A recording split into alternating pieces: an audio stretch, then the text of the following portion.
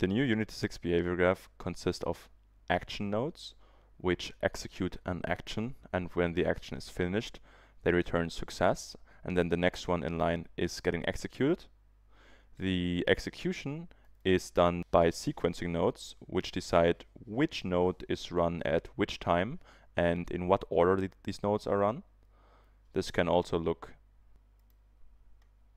so in here we are logging the first message and then we're logging the second message. I've built a small state machine here. On the top we have a switch statement which is based on an enum which has all these different state names such as patrol, chase, attack and eat in it. And then we have a restart modifier node which restarts if the behavior state enum has changed. And then, for example, in our patrol, we start off by triggering our ground locomotion animation, then logging to the console.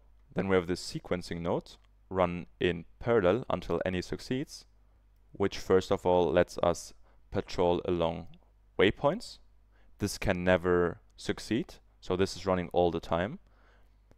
Then we have the detection from targets, and if we detect target, so this node would succeed, we would set our behavior state to chase. So we change our behavior state and then our restart node would get triggered and switch to the current behavior state which we have chosen. If our hunger is less than a threshold, this one stops running in parallel because this one succeeds. And then we set our state to eat and we would go into our eat state. Or so you may think. So in our current flow, each node is getting called one time and it's waiting for it to either succeed or fail.